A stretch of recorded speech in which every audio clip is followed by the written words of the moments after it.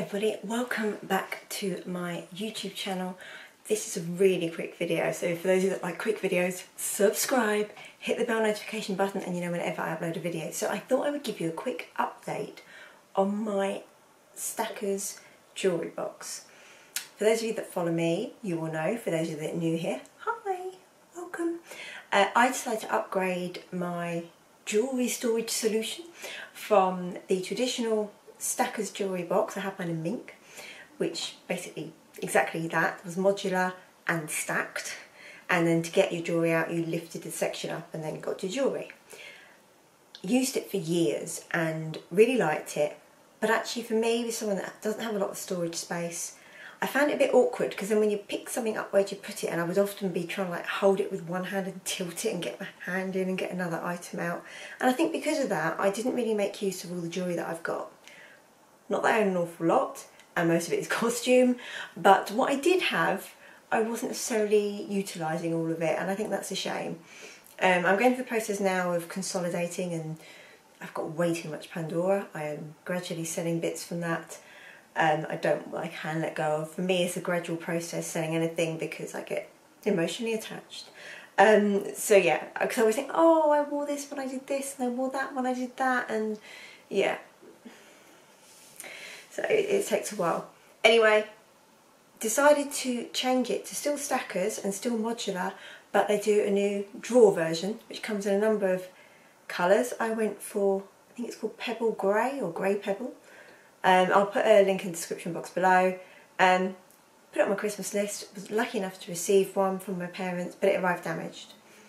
Got replacement and it's fine and I just, I set it all up this morning and I thought I'd show you quickly in case anyone is interested, in case anyone is looking for, you know, a, a new way of storing their jewellery um, and would like to see basically. So I will show, I'll, I'll take you with me over there and I'll show you. So this is my setup. You can see my Stackers jewellery case on the left there, my matching Stackers makeup caddy there on the right, my simplehuman makeup mirror, which is amazing, it lights up. Little tub from Amazon, which is great, bit Chanel jewellery and some Augustinus Bader. So let me move some of these items out of the way and then we'll get on to the good stuff. Okay, just move this final thing out of the way. So firstly, let's just show you this. This is the makeup caddy. So you can see I've got all my, my many Hermes lipsticks in the front there and then some skincare and foundations towards the back.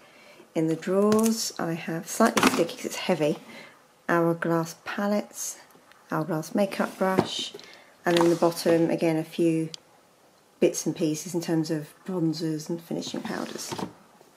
Right, here we go. So on the top here, which I couldn't do with my one because I had to lift the top off, because this has got drawers, I'm finally using my gorgeous Mosaic Hermes porcelain tray or sushi plate. I've got some Hermes and uh, like a blush, finishing powder and highlighter. It's cute. I don't know if they still do this. I got the last one from Selfridges at the time. Cute little travel brush, but I love how it stands there. And this that I love more than I ever thought possible. My Hermes Plein Air. It's what I'm wearing today actually. SPF 30, so that's great. So you can see that just sits on top there. And I put some little feet on to stop it slipping. So, drawer number one. You can see there, so I'm trying not to make a mess. So, I've got like a, I've added that I bought separately but for my old one, um, just in the back right hand corner there, a little charm. Um, I'm actually trying to sell those charms. Then we've got some Tiffany. You can see it has a lot of Pandora in here. Um, and then in this top bit, I've put my earrings, mainly Chanel, and rings. So there's my beloved Hermes chain d'Ancre earrings. So that's fine jewellery. That's a bit of fine jewellery, but that's about it. Second drawer, and again, obviously, because it's modular, you can reorder it as you want. But I use this, I like these little separate compartments for basically rings, earrings, and some necklaces so that nothing gets too tangled up. my 40th birthday present for my husband there, Chanel. And then this one, you've got these sort of basically long separated sections. So this is really great for, again, any long bracelets or any necklaces. And this bottom one is deeper, so this is good for the storage of any watches. I put in here all my different um, Apple Watch straps and I've also got my Mega Watch wrapped up in a pouch at the back. I need to get that battery sorted. And then here we've got like little um, Hermes bracelets mainly, um, my Chanel brooch, but you can see like just leather. Some very secure there with the palladium. So yeah, that just obviously goes in better when you don't do it one-handed. Um, but yeah, they just go in there. So I bought this as a foursome with these set four drawers. That's how deep it is from the side. They do do a larger version, but this is the classic size, but not the classic style. The classic style, like I say, is the one that just stacks.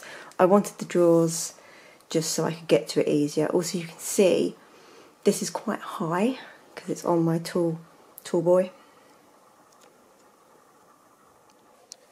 So that was a very quick tour of my jewellery storage. Um, I hope you found that useful. Let me know any questions at all and I'm more than happy to ask, not to ask, you'll be asking, to answer and I will see you very soon. I'm going to go walk the dog. Have a fabulous day, evening, whatever you're doing and I will see you very soon. Bye bye.